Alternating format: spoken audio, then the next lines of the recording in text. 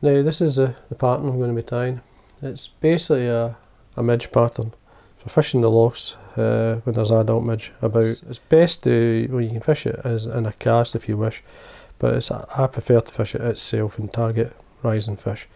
Uh, I will fish both in the rivers, uh, especially fishing the river for hawthorn, but in the lochs for adult midge it's, a great pattern. Now you can change it a wee bit, I mean you could use as well obviously black legs, brown legs on it. You could use brown deer at the front. The body, keep the body black. Black is a great colour. Uh, it works in a lot of flies. So I'll show you how to tie it. It's reasonably simple, and it's a bit of fun. And uh, I'm sure if you put two or three in your box, you'll not go far wrong. Now the first thing we're going to do is actually form the body for our midge pattern. Now the foam I'm using is just a close cell foam. This is obviously black, 2 mil wide, it's a sheet so you can then cut it. So basically what I do is I cut it out. Now that's about 3 by 2. Uh, it's the length. I use a long pair of scissors when I'm trimming it. Now the first thing I do is just put a point into the, the end.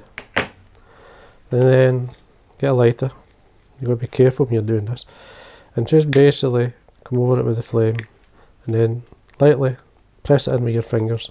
Just do that. And that gives you a nice sort of taper and seals the foam. It actually melts the, the foam on the outside and makes it a wee bit more robust. Then what you do is cut a length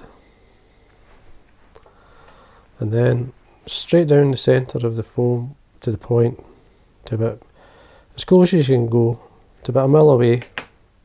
So you've got an even cut close to that, straight down the centre to the point of the, the foam. Now, to form the body, what I'm using here, this is my HMH. It's a tube fly holder for holding pins and so on. So it's obviously I'm going to hold this fine uh, needle here just to support the body when I form it.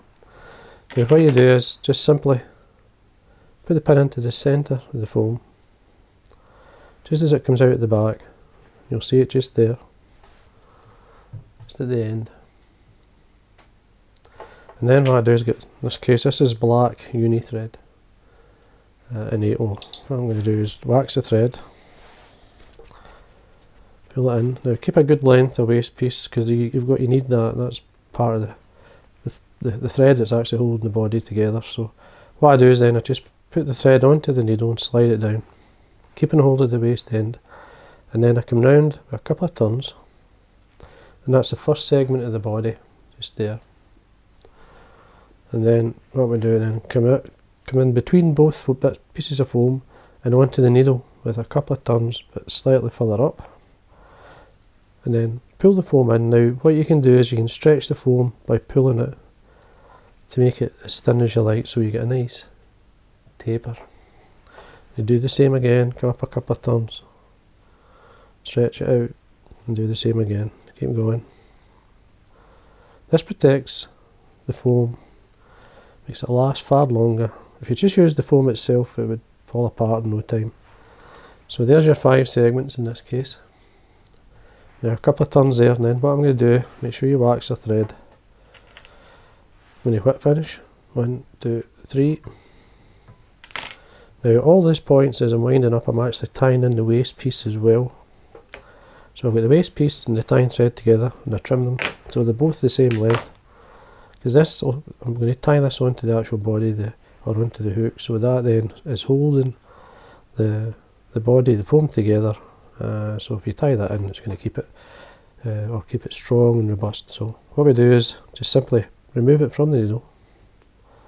And there we are.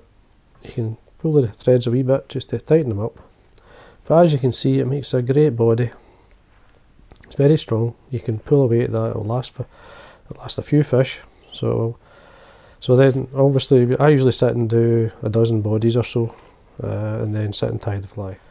Now we're ready to tie a fly. Now the hook I'm using, this is the Fulling Mill hook. It's called the Short Shank Special.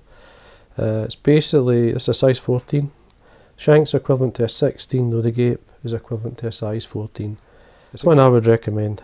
Now thread back to the uni thread in 8.0. First thing I do is run the wax through it. We start at the eye and we just come down till we're in line with the point of the hook. We don't want to get any further than that, so if you let the thread go, it should be in line with the point. Now we get our body, the one we formed earlier, there we are. We're just going to tie it on. Where we actually tied off is where we're going to tie it on.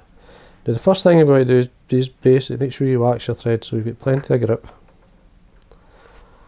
One, two, three turns there, just to make sure it's sitting. You can come underneath then do another turn on top.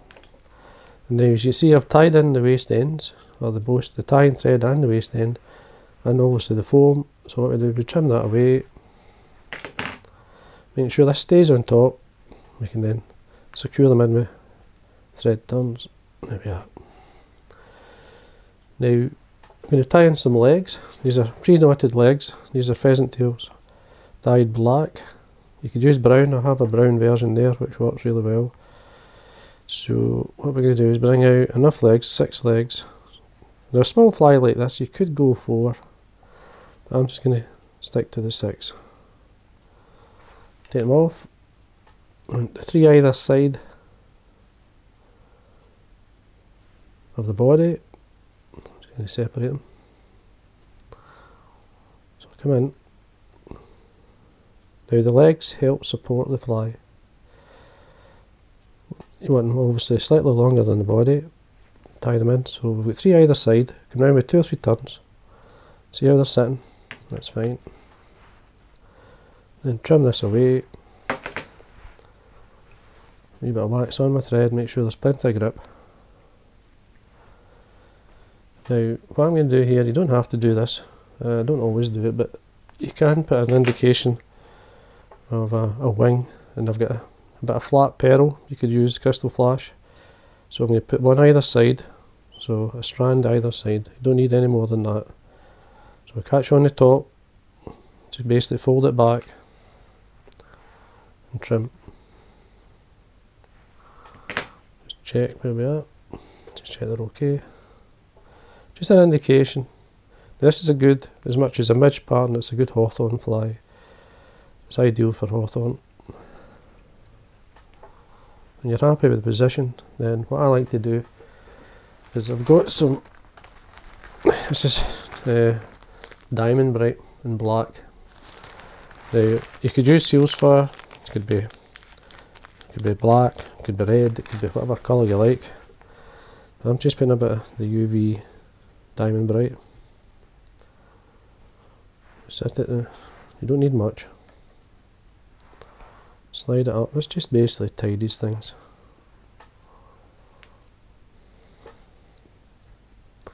Just stroking it back. Now, what I'm going to do is make sure it's waxed the thread. Got some dyed, this is dyed black. This is roe deer that I've dyed black. It's uh, short, it suits the smaller flies. Now, basically what you're doing here is just forming a hackle with the deer hair and a head in this case. So we set this on top.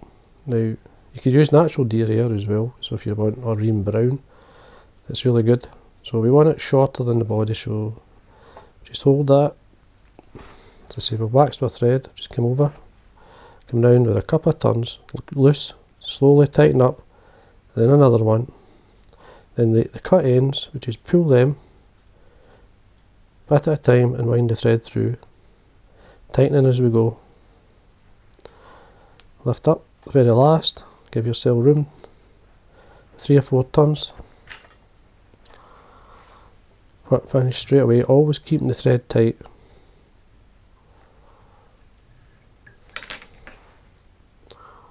These are ideal for targeting fish. Use them in the, the rivers and in the lochs, they'll still catch, they're fine. Just bringing out the cut ends. Now I'm going to cut this much like I would do a, an elk hair caddis. So just lift them up so you can see. Try my fingers out of the way so and trim away. There we there we go.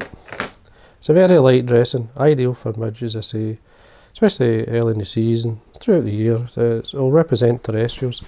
If you want, I mean, you can, as you see here, like I've used brown legs, uh, you can use whatever you like. But it's a very, it's a simple fly to tie. It's great fun. And to fish it, it, it you basically target along the edge of the, the bank. If you're fishing the lochs, obviously in the river, you're just targeting rising fish.